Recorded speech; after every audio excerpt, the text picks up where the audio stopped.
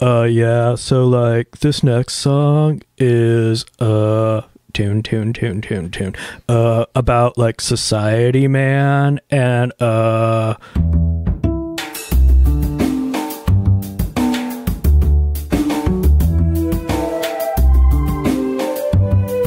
This is Champaign is also a band podcast. One songwriter, one song. I'm Sven, your host for a journey into the music of Champaign Urbana. Recorded in the Blue Box studio with a songwriter from the Champaign Urbana music scene, past or present.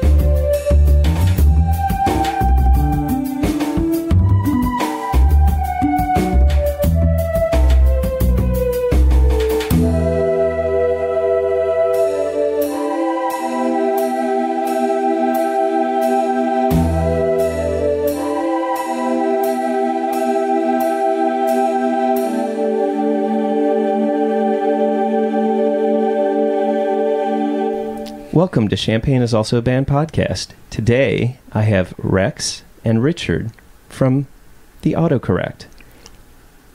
And you guys can say hi. hi. Hey there. Hey. So you may know, I'm going to start first with Rex, you know, alphabetically. And so Rex, you may know from this band, the Autocorrect, Electric Bitters Withnail, Oh Alchemy, Looking to Cheat, and for a while did some solo acoustic guitar open mic stuff. And let's see junk rdi aka random Noize and hsr and then richard you may also know from the autocorrect from circumstances uiuc community Gamelan, pleasure boat explosion box maker and oh that's it all right. Excellent. What about Misk? Oh. Misk. There Oh, yeah. Misk. That would be between Box Maker and Pleasure Boat Explosion. It was just me, like my old solo thing, and I always forget I did it. Ex- well, does that mean that there's some recordings out there or no? Yes. Yes. All right. On on on the interwebs? Yes, and they are very expensive if you want to download them. But if you download them all, I will compose and perform a song just for you. What? All right. We'll have to put that we're going to put a pin in that and like uh put that on the notes. So, uh It's a steal at like sixteen hundred dollars.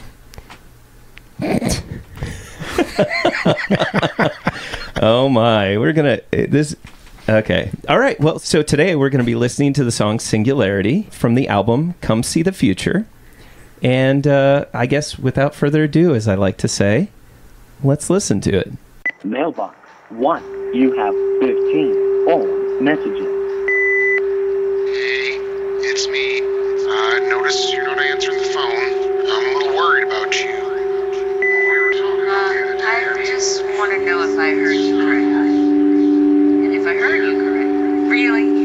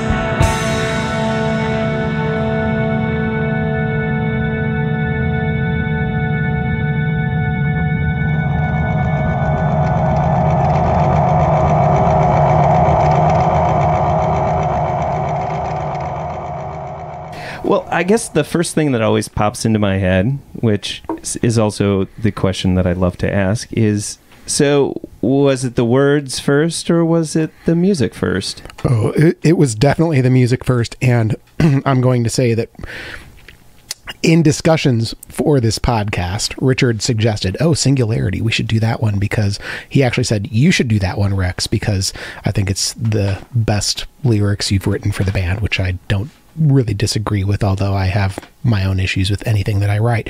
Um, but then I said, I can't do that alone because those lyrics would not have taken the form that they took if it weren't for the music that we already had. So you already had the music laid out, and uh, was that predominantly you, Richard, that started the music? I'm assuming. Uh, sorry, let me scroll back just a second. But you, it sounds like you're not necessarily playing. Is is that a baritone that you're playing, or is It's that a bass the- six. A bass six. Okay, is- that was going to be my second Yeah. guess, but because it's it's like that, it's it's the bass tones, but the the kind of more of the range of the guitar, sort of like it's it's the mid middle ground between the two. yeah. Excellent. So, uh, is that is that one of your predominant instruments For the autocorrect, that is all I use is a bass six, Okay. and the way I have it tuned, I I have the lower two strings tuned down a bit so that I can hit some chord in the guitar range and then have this low bass note ringing out. Yeah, you can hear that. And and actually, what was the first part that you came up with in terms of the music? Was it like the I guess you could say the verse part or was it the chorus or was there something particular that that happened that you're like that's it or In our formative days when we were still just jamming around on stuff, I threw in the verse part and it is actually a riff I had been sitting on since college and back in the 90s and had hadn't really found a place for it and I was messing with it and it was on a guitar tuned differently so I started playing with it and my main thing whenever I want to experiment is like well can I slow it down because I just like playing slow so we slowed it down. I added an extra couple of beats, and it turned into the verse riff. And Oh, uh, I remember when you added those beats. That was that was- that threw me off when you started doing that. and then I think we just stumbled on a chorus riff, and mm-hmm. then a couple weeks later, I was sitting around at home noodling and came up with the second part, like the whole second half of the song. And this is so long ago, I don't really remember, but I think I came in. I was like, "Hey, you know that really pretty song we have? What if it got really ugly and completely different?" And I showed him that, and somehow it went over. Well, it's funny. It's it's almost like that part, it, not bearing the lead or anything like that. But I was gonna, I'm going to stick a pin in that because I do want to re, uh, want to turn to the the part where this song turns, so to speak. So uh, in the beginning, you have these, I guess you could say, voicemail messages. Before we began recording, I think you said something about, uh, or maybe it was while we were listening, that you said that the the woman I'm assuming that the woman that that left a message that said is I want to make sure that I understood what you said and if uh, I understood what you said and if so really how did that whole thing come about where you wanted to add these voicemails Sorry, I'm, I'm this. This is now years ago, so I'm trying to put myself back into the mindset, like what all was going on then. So there were a few things going on, and one of them was that I had been going around just interviewing people, looking for little tidbits, sound bites that I might use somewhere. So I had various audio recordings of some people's voices. My oldest sibling had passed on in the 2000s, and my mom gave me the cassette tape from her answering machine. So I ended up using some of that. It was listening to that cassette tape that kind of got me into the idea. Of the narrator for this song is clearly, uh, I would say, a he's rather defensive. yeah oh yeah, yeah. right right Yeah. and so so you know I, I was kind of thinking well you know while richard is setting the stage sonically for what happens next then maybe you know i will set the stage from more of a narrative perspective as to you know why is this guy in the state that he's in why is he just so upset with people and it's maybe that people are making fun of him or at least he perceives it that way. And so that was kind of where all of that came from. Let me kind of jump in with i guess my interpretation of where the the, the singularity what what this is referring to is this i mean the singularity in itself is this sense of unification or maybe even perceived as control by like an artificial intelligence and and joining of like human minds and artificial intelligence and then blurring that right into this right basically the, the moment at which a machine achieves actual sentience I I thought it was a little bit more than that. Like that it was that it was more of like that there was Yeah, kind there's- of that, that there's kind more- of no going back kind of but uh, yeah Yeah. I mean, there's more to it potentially, and there are also other kinds of singularities, but that's the one I was kind of focused on for this. I don't know if I should go into some kind of interpretation or I should allow Oh, you feel to kind of free. go. We'll Well, tell you if you're wrong. No, well, I can I can be wrong. That's you know. That's you know, are, but are you wrong? Really? I mean, I'm really curious to know what the song says to you. So, I've misinterpreted one of his other songs, and we go back and forth on whether the song has a happy ending or not. oh, that one, no, Richard. Well, this one obviously is is very happy because a cleansing flame is coming, and people are just looking forward. it's to happy that for cleansing. someone. It's- that's true. Well, you know, she's she's a person, not a thing. So there you go. It might be happy for her. So it seems like this starts off with this kind of you have fallen in love with this sentient AI. The thing that I notice is that yes, you when you mentioned before that it's very defensive, but it's also like you talk about all the things that you would in a human that you would find attractive or or the things that you've fallen in love with and but you equate it with their I don't know you, you know their pixels on the screen uh, you know her fractal complexities and then you know tweaking her code. But I, I think in some ways when I look at that the kind of the tweaking her code I'm like well that's kind of a relational thing where you're like you kind of always hope that that a person might change a little bit you know as uh, I guess is what I was thinking. But in the end it's it's she's just gone I'm I'm using the pronoun she because you use she but but it it turns out that as as kind of fallen in love with this AI in a sense that it it also seems that not only is is she getting you all to fall in love with her but also she's doing that to everyone else and then slowly kind of taking over all of the things the kind of things that we we fear with like the the iRobot kind of story in a sense of protecting that it also you're just not good enough so the human race has to go or be controlled or be made safe which Yeah. I don't know yeah I I said I I thought I would do that a lot better but no, that's um, all right. well, I mean this this this is a very should I say dense song? I mean, Uh, it's, yeah. it's lyrically dense, and then it also it's ridiculously dense, I would say. But but the one thing that I noticed that I almost want to say that the the synth voice that's being used in in the beginning that kind of is is repeating that one. Uh, you you hear it more predominantly. Yes, there's lower parts to it, but there's also that one voice that keeps going, and it's very sweet and loving. And then about mid midway when you say one day she'll understand, and at that point that's before it even changes tone, like it changes key.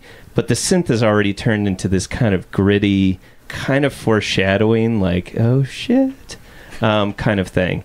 And I do want to ask about that. And I just uh, want to say Andy's synth tones on that song are just freaking phenomenal. We could Um, release a version with just his track. Oh my god, I could just listen to that. I mean, seriously, I Real- you know, oh, yeah, wow. and and and I remember he was very dismissive of his his work on this song and I was just like, "Oh my god, it's so awesome."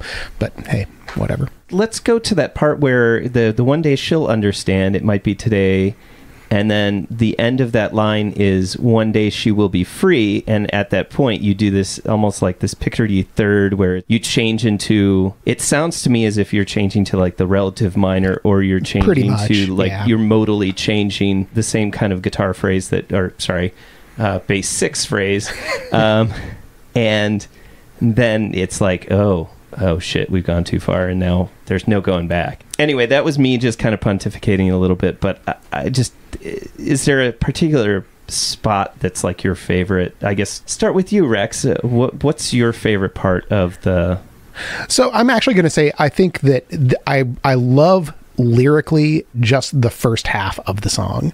I I really that was what kind of drew me in. And cuz almost all of the songs that we write end up like marrying these different musical components that sometimes are very tonally different from one another. And that's very challenging to write for lyrically. And so I have to kind of try and figure out well what how am I going to handle that change? What's this story I want to tell? And I've been reading a book called Constellation Games, which actually is, I think it's the only novel this guy ever wrote. He's like a Ruby programmer, wrote this novel about actually about first contact with aliens. But there's a subplot where there is, is a programmer who had written an app like a girlfriend app for his phone but it's like somehow it like the code got intermingled with alien code and she becomes sentient. And it was like this really weird subplot that i just kind of seized on as like yeah i'm going to tell that story. It was just a challenge to try because the thing is you said, called this lyrically dense i would say yeah ridiculously dense. And the thing is that songs don't lend themselves towards you know narrative exposition like I tried to use it here. So it was it was a challenge to figure out well how do I actually represent these things? How do I how do I represent a relationship between human being and a program that they at least ostensibly wrote a good chunk of and make it not a joke. And and so I think that that's really just my favorite part of the song lyrically speaking. when you said how how to make it lyrically not a joke, I would say almost the background music, the supporting music, is what made it not a joke in some ways too. Yeah, because yeah, it it's, helps it's so lot, very heavy and serious, but also has some very it, that that synth voice is the thing that kind of elevates it. also Richard's looping that he does, like that Uh-huh. he starts in the beginning Mm-hmm. with underneath the voicemails, that's also running underneath everything too. And I think it's that combination of that awesome looping and Andy's fantastic synth voices that he was using that gives it this like sparkly like reverence almost. There's something really kind of cool about the the. Gotcha. tone of the beginning of that song. Richard, what is your favorite part of this song? Probably that drone he mentioned that I run under the whole first half. We had to go back and forth a lot on mixing to make it just audible enough but not overpowering because I wanted it in between the notes or if you just kind of spaced out a bit you could still hear it running through and there are like some notes that crash into each other because there's a G and an F sharp that kind of alternate. So it kind of bounces around and there's a little bit of crashing that makes you uncomfortable, but it's underneath all of this pretty stuff. And also just the tone Rex got out of my guitar. And for this one, since we were recording, usually the thing I like about a bass six is that you can have this range of notes, but for recording, I would overdub the low notes on a bass to give them a little bit of extra thickness. This one, even though it's on a bass six, I feel like it's almost just a bass song because most of it's in bass range and it feels like a bass part to me. It's one of my favorite bass parts I've done, and I didn't cringe when listening to it two years That's- later. That's good. Interesting though. You you were saying that kind of that clash of the G and the F sharp. It's interesting to me that that's in a way when we talk about how information is is jumbled and we think about the internet in itself like I bet you if you were to somehow make the internet sound or make music with the internet or mm, turn it into some kind of auditory signal that it probably would be just a cacophony of different sounds which in some ways i mean kudos i think that that having a loop in the bottom that has this like running sometimes our, our own minds can't break down Just a that little much. dissonance. Yeah, it- Dissonance, it's yeah. it's kind of a majestic enough. cacophony, really. Yeah, there you go. And I say cacophony when I said that I meant in a very like good way because I didn't I wanted it to be beyond just that it was just dissonance that it was also you're also talking about the perception between what is someone human being able to understand something and then a machine being able to understand something and, and having that balance be when you had laid out the music then did you start singing over it or how did that kind of how did that get formed? Yeah, I, I actually think that I had a recorded version from band practice that I put on in the car when I was like commuting to work and I would just sing over it and try and come up with melodies that I liked. Uh, and I'm going to come back to this the, this first half of the song which it's funny because there's so much that happens in the second half of the song but the first half of the song was like the critical thing for everything. I mean uh, i found the second half just easier to write melodically easier to write lyrically. Uh, the first half was just hard. It was hard to find a melody that did what i wanted it to do with richard's awesome majestic bass guitar slash whatever bass riff uh, and and so so I I remember that I played around with that for a long time before finding a a melody line that I was happy with so richard what is your interpretation of what happens at the end to our narrator I don't know. I think he gets kind of shoved aside and the AI takes over and bye bye humans. We had it coming. I do like the repeat of the stanza of the intro to the, the lines where it says, One day you'll understand. And I, I see that, of course, the turning point is the one day she'll understand. And is would you say that that is when that was the, the turning point where that's, that's where she understands that humans got to go? yeah and and you know and, and there's there's so you know my rhyme of course is you know when i point her outside of the land which is my you know mm-hmm. like one of those more cheesy rhymes that i got in the song but hey whatever. But you know i think that that's kind of the key here is that when when she finally is able to kind of hoover up all of this information beyond the little swath of you know electronics that she had access to i think that that is the the critical turning point. and yes so you know when it starts with one day she'll understand eh, clearly we're starting to move into different territory and then when she actually you know is able to kind of see the state of the world as it is assuming that she was truly written as a you know program by this must be incredibly talented programmer. So this narrator who's kind of fallen in love with his creation, that she was created by him and that he has informed, you know, her formative understanding of the world and that he's someone who is defensive and not really doesn't seem to have a lot of great human relationships. I think that that also kind of informs how then she takes this other information and stacks it on top and comes to this conclusion that oh, well, people clearly are messed up and you can't be counted on to actually run this planet uh, the way it should be run. So I'm going to take over. the line of, I won't regret tomorrow the things I did today. And then I won't feel sorrow for what I threw away. What do you think that the narrator was refusing to regret? I think he made computer girlfriend, so he's kind of already turned his back on humanity, and I think he's like, screw it, no regrets. I'm doing this. You know, everyone is kind of against him for it, and he knows he's doing the right thing by creating this new life. A couple lines later, that seems to be the wrong idea, but he's not thinking about that right now.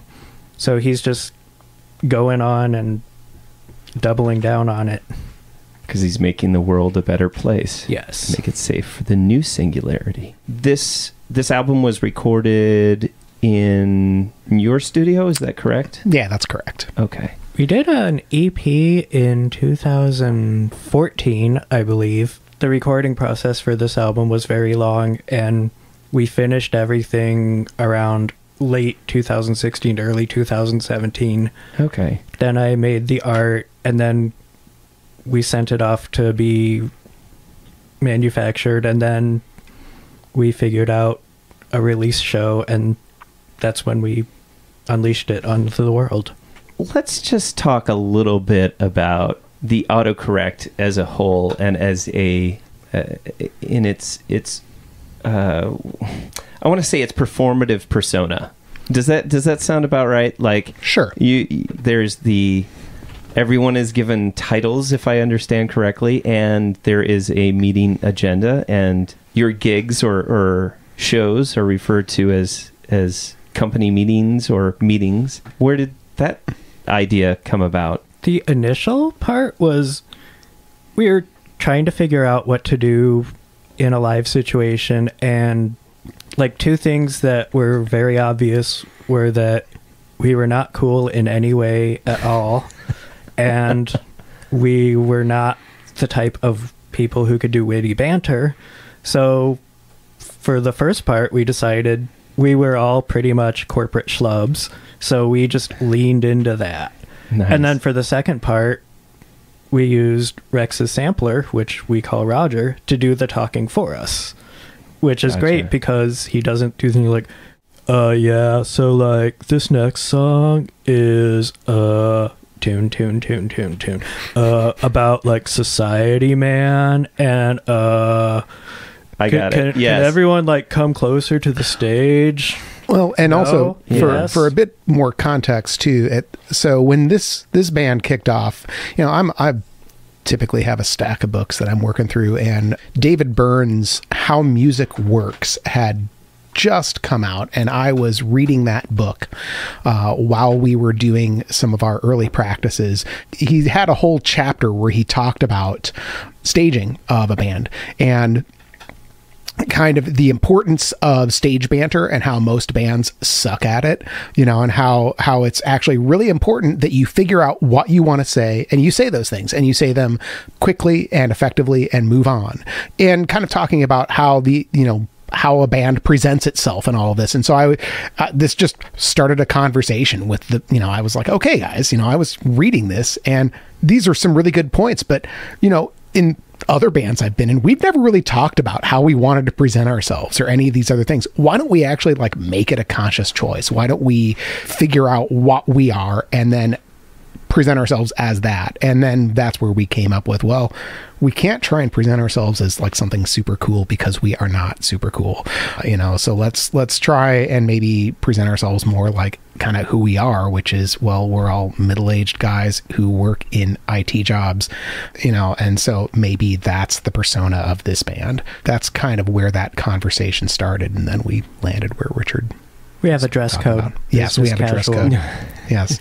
Although, if we have a show on Friday, Fridays are casual and mandatory Hawaiian shirts. Right? the agendas were also a great way of um, being able to try and communicate what the song na- names are to people Right. in a way Yeah. that, that's like not just saying oh and you know now we're going to play this song and it's called this and it's about this and so hey you know and so you know it was just a, a way of trying to take the format of a show and you know kind of office humor and combine those two and you know so it works for whoever it works for but you know I will say for our last show, because it was so hot, my title is the Director of Human Resources, and I dictate the dress codes. I lifted the dress codes and allowed shorts for this show I because was I was actually going to show up in a tie and slacks. Believe it or not, I had them all picked out on my bed for that show, and then then you discarded the dress code, and I was like, okay, I guess I'll be a slob. and then we had a storm and the temperature dropped 20 degrees. Oh, But Yeah, and we also had an agenda printing issue that resulted in no agendas being distributed at the show. So, you know, hey, whatever. It it seems like every meeting that I've ever been to, right? It's just- Things happen. Champaign is also a band podcast is proud to support Jubilee Cafe. Jubilee Cafe is a free weekly meal program at Community United Church of Christ, 805 South 6th Street in Champaign, Illinois.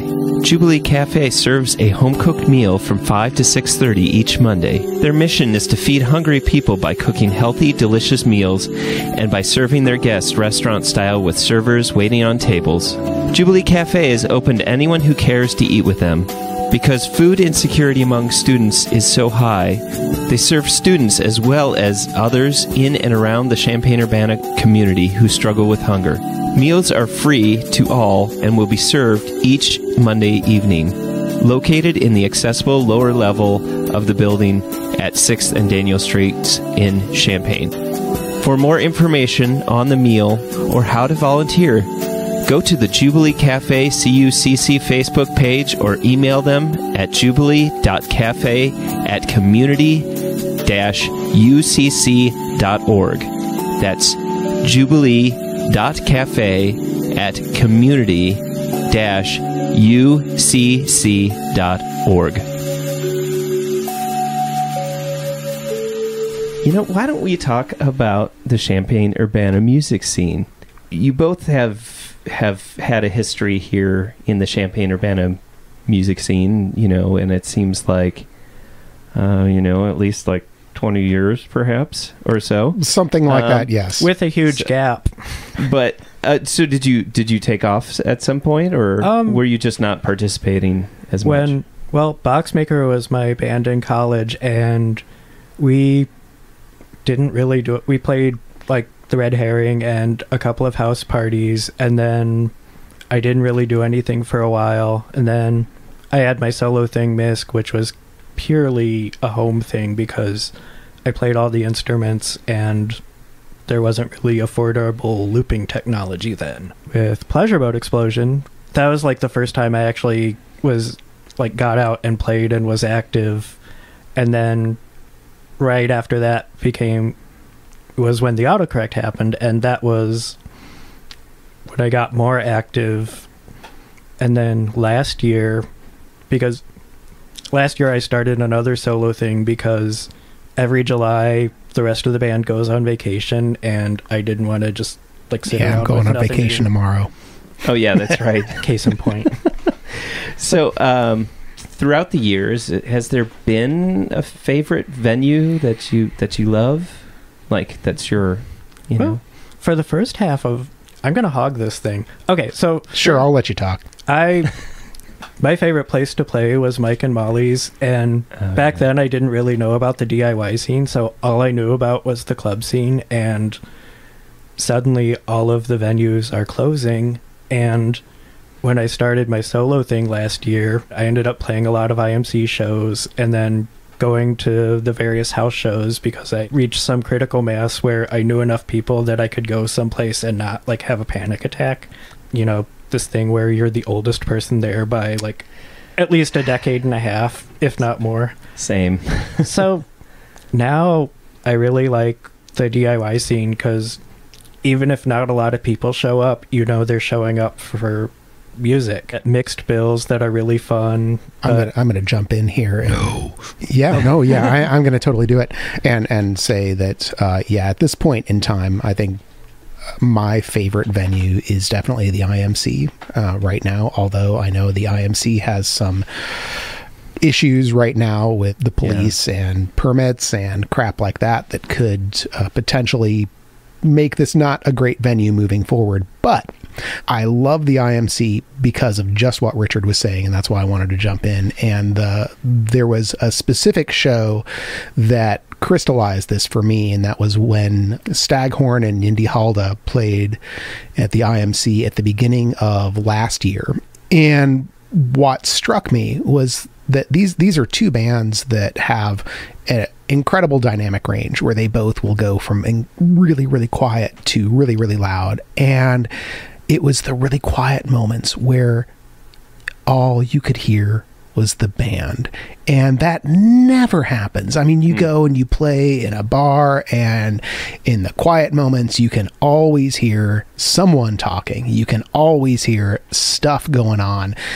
And it was just so awesome to be, you know, here in an audience. uh, I mean, for the IMC, it was a decent sized audience, but for, you know, a show in general, I mean, like 30 people is not huge, right? But it was great to be in an audience of 30 people who were just standing there raptly intent on the music and that was fantastic and it's not always like that at the IMC it's not like everyone is always completely intent on everything that's happening but without people being there just to drink Right. it, it's you're much more likely to get that kind of feeling which I love yeah, especially any of the DIY scenes, it's like since they're not serving alcohol, it's the goal is to go and see music and see uh, out of out of state bands or or you know your favorite local band, not to you know yak with everybody and that kind of. I will also say that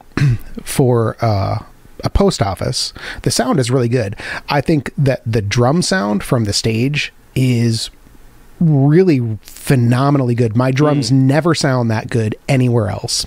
the, the way that it breaks off into those chambers, I think, is- Yeah. is, part of your transients are are not going to be all about it bouncing back at you. It's going to be about like you know some of the more lower tones and some of the more like snare tones are just going to go. Yeah, somehow the the- acoustics just Yeah. work. It's really it sounds much better than you'd think it should. Yes, yes. Well, especially since well everything's just about all solid. Right. There's no there's no carpeting. There's nothing to absorb any sound. No, by all rights, it should sound like flow shit out in other there. places. Yes. when it moved from their old spot to the current post office that they're in, I mean, the DIY music scene just about cratered, at least as far as the IMC was concerned. I mm. mean, it, the the old location, like where. God, and now I'm dating myself. Where V Picasso used to be back when it was in Urbana, that location was just absolutely happening. But then when they moved to the post office, it's like somehow the scene didn't really make the transition. The IMC, and now that Mike and Molly's is closed and everything, it feels like the DIY scene has now finally really coalesced on the IMC again, and now the city of Urbana is like, no, no, you cannot do that. I kind of hate the fact that one incident, it seems like one incident was somehow ended up blanketing the entire IMC in in the city's perception that oh that's all that's going on over there and that's not necessarily a true picture of what what is happening. Well, and I think it's very specifically the Urbana police as well, because I know the city of Urbana has like written grants with the IMC before, right? So the city of Urbana Okay, has be has fair. has Yeah. viewed the IMC at least in years past as a partner for community events and uh, as a community center where things should happen. The police clearly did not get the memo. Has there been a particular show that anywhere in Urbana Champaign that was just your favorite? I'm going to start with Richard on that question. they have all just come into a blur, but I will say another place I like to see shows and perform at is Sipyard. I'm gonna say my favorite is one I played there because I am vain.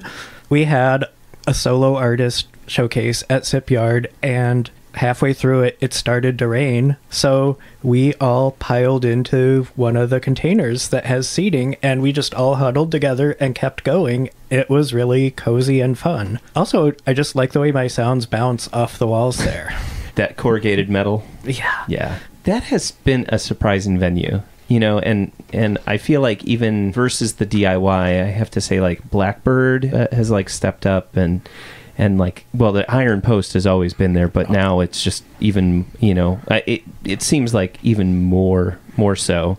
Yep, and don't Um, forget the Rose Bowl too. I Oh, absolutely. Oh, yeah. Urbana is killing it these days, and Champaign is just kind of dying. I don't know what's going on there, but it uh-huh. seems like, and maybe this is me editorializing. I know, I know that Champaign is doing their like street festival thing on mm-hmm. some weekends, but it's just not the same. It's it's Yeah. it's because i moved to urbana a couple years ago must have been.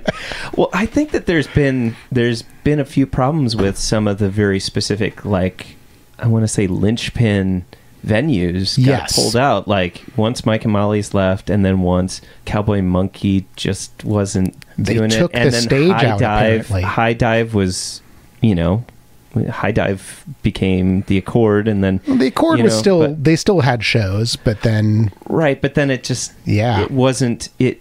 it- uh, yeah, and I, I liked the Accord as well, but it wasn't sustainable at that point when. It, even though they were pulling in some really amazing shows, it Mm-hmm. just wasn't sustainable.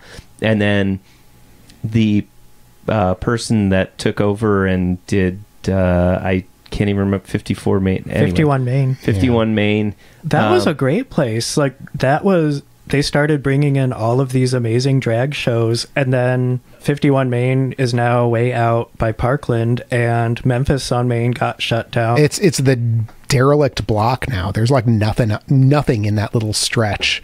Uh, it's just really weird. it feels like Exile on Main has actually stepped up and is having it seems Yes. like it's having like I would agree with that. two three shows a week Uh, That you know. another fun place to play and see shows. You can just kind of stand in amongst all the clothing and check out the music. even if you just want to kind of passively listen, you can kind of quietly go over and uh, thumb through all the records and CDs and things like that. I do enjoy Exile, and I feel like they're, they're doing a good job of pulling in out of state bands and local people. And it does, it feels like it's like at least one or two shows a week. Yeah, I would know? agree. They've they've really stepped up, and I mean, Exile is just a treasure for this community. And 25 o'clock has been doing a lot more things. Yes, but I, I feel like we've already praised Urbana enough. I was just trying. I, Not possible. I was just trying to pull, a, uh, you know, just because. Is, Right. Are are we dealing with scales here? Like it feels like it's like you know one has to be more prominent than the other, and they just kind of tip back and forth. At, at right. least well, and remember, I mean, back you know. back in the day, it used to be campus, right? I mean, Mabel's and uh, the the like Mabel's and Tritos and Trinos also for a period of time. Um, Nature's Table, Nature's Table, right? Yeah. Uh, you know, Red Herring still kind of does some stuff, but that Red Herring, it, it seems like it, it kind of comes and goes depending on who's involved. Well, and stuff that happens actually up in the, the chapel of the Channing Murray is Yeah, is well, back in the day, the Channing yeah. Murray was like the freaking spot. I mean, I saw so many bands in the upstairs Channing Murray in the 80s. Paul was talking about when when he first moved here and, and all the all the bands that were playing up upstairs in the chapel and it's pretty amazing.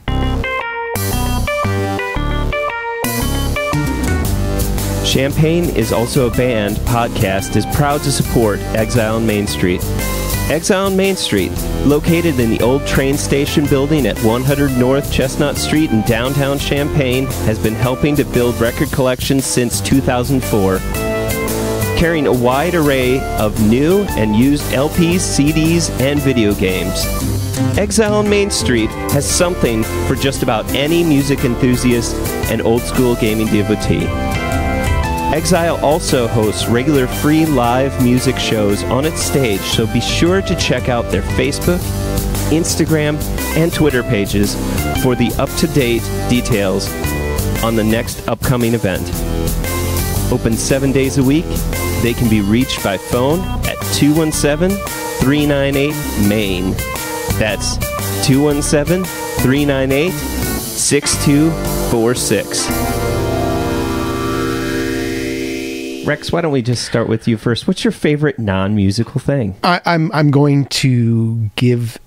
All right, I'll say it. My my favorite non musical thing is learning shit, and I know that that seems maybe kind of vague, but you know, almost all of the songs I write are like inspired by books that I read. I read a crap ton of books and I love reading and I love talking about shit that I read. And I love listening to podcasts, usually podcasts that have like fact checkers and shit, you know, because I like to learn new shit while I am driving. And so I, I just love you know stimulating that part of my brain that's like oh i didn't know that. Oh that makes so much sense now. And and i would even say that the same is true musically even though you asked for non-musical but i mean like you know last year andy left the band. I don't know if you knew that but uh-huh. yeah so andy left the band and you know then i had to like learn all kinds of other shit musically, which was super fun and and interesting. And I, you know, so that's that's my favorite thing. So, what is your favorite mode of learning? Oh God! All right, right now I'm going to say it's probably podcasts, and this is simply because uh, You're on a podcast right now.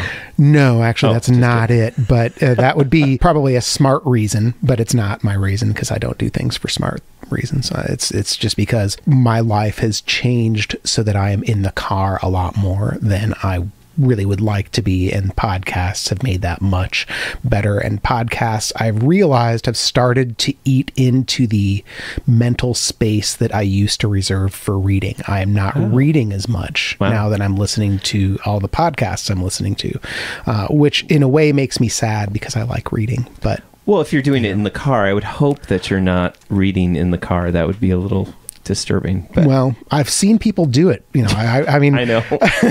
yes. you know, if you if you if you're on the interstate enough, you'll see people doing all kinds of crap they shouldn't be doing. Is there a is there a favorite podcast? I would say 99% Invisible is probably one of my absolute favorites. Uh. and uh, and then uh, another one which is less well known but I think is also fantastic is called Futility Closet. And Futility Closet is like much lower budget than 99% Invisible, but you know, it's basically this couple in North Carolina that will go and research weird apocryphal anecdotes from history and then they'll just talk about that and that'll be the the podcast. And I I found that super super interesting. Either one of those I always end up with like something that I'd never thought about before when it's done that I'm like, "Oh, that's so super cool." I have not heard of that one before, so Well, I'd recommend it. It's have it's to a check good it out. good half hour long podcast that always has cool stuff and comes out once a week. So, Richard, what is your favorite non-musical thing? This is going to be really anticlimactic after all that, but probably my cat. No, that's good. Yeah, and so what's Your your your cat thanks you, Richard. yeah? He knows. he he knows he's my favorite thing. Or maybe I should say your cat will not punish you when you get home for having said that. so oh well you know it's a cat so maybe um, but so uh, what's your cat's name His name is Fred, which Fred that was his name at the shelter. He was part of this litter that was really huge, so they just named them after all the people who worked at the pet store where CatSnap has a little base of operations. Oh, and oh okay I looked at him and he looked at me and I was just like, you know, he just looks like a Fred. That's his name. He's just very he's very relaxing to be around, which usually means if he sits next to me for more than 5 minutes, I will fall asleep. He is kind of like me in that he's either very relaxed or very jumpy. Like he's very high strung when he's not relaxed. So like Huh. there's no middle ground. But when he's relaxed and we're just napping and chilling, it's just fun times. Fred's your only cat or My wife, you don't see the air quotes, but anyway, she we have three cats together, but we kind of consider Fred as mine and the other two are hers cuz the way they bonded, it's usually like whoever rescues the cat gets the tighter bond. One of hers was actually supposed to be like my birthday present, but it was the she rescued him thing, so I could not break into that bond. So when I took Fred home, I locked him in my room and we just hung out for like a day and it was like, Uh huh. So Yes. so you used Stockholm syndrome. yes. but I mean, I just wanted but to in a good way I wanted to strengthen that bond that was already there from you me rescuing him. Also, just watching the three of them interact. So, I would say cats in general. I am a crazy cat lady. you mentioned uh, that organization snap is it snap Cat Cat Snap. cat snap sorry yeah is that local national They're local, and the one thing I liked, although it made me really nervous, I had to fill out this huge form to apply to adopt Fred, and I was like, "Oh my god, am I am I good enough to adopt him? Will they see my love?" And so I'm glad they are that they are that strict, so that if one of their cats gets adopted, it will go to a good home. And the Pet Supplies Plus on Okay. Duncan and Kirby oh okay Yeah, actually, I like that spot. they have they have a little corner there which the staff of that store one of their manager was named fred so I would come in sometimes and be like, "Hey, I got the cat named after you." but Um, I'll definitely put some notes in there about about this organization because They're that's wonderful. Great. That's really neat. And then, so they're at Pets Plus, but there are other locations as well, or they might be at PetSmart out on North Prospect, and Okay. I'm not sure, but I know I have some friends who volunteer for them, and we had some stray cats wandering through our yard in the winter, and we were going to try to trap them to get them taken care of. And one of them became our third cat, Winnie, because she she wandered into the trap. We took her in, got her taken care of, and she was like, "I must have this kitten." So her name is Winter because that's where ah. when she was caught, or Winnie for short. And So you've got Winter and Fred and um, the orange tabby, his name was originally Pippin because he was hobbit sized, but then he started growing outward because of lots of eating. So we started calling him Big Fat. nice. And- See, that's actually consistent with hobbits, though. They Big and then- Fat the cat, And then that's just shortened to Biggle. Biggle, Biggle. Yes. Oh, Either Biggle or Biggles or Mr. Bigglesworth. never that. See, you know, you started this whole thing by saying, "Oh, you know, you're going to be so disappointed here," and actually, yours was just much more entertaining than mine. Rex and Richard, thank you so much for being on the show and talking about your song Singularity from the album Come See the Future by the Autocorrect. Thank Thank you. you for having us.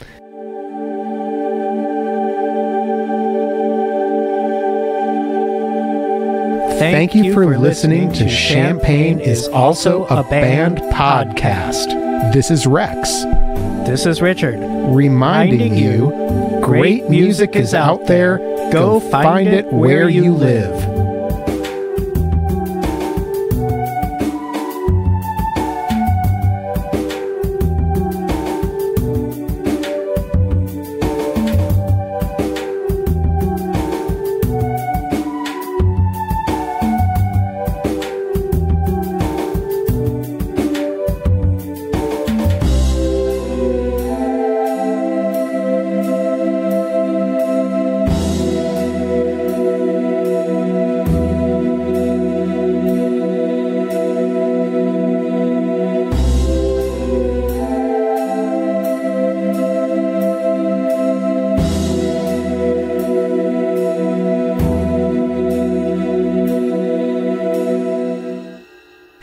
Almost have an NPR voice. It's so good.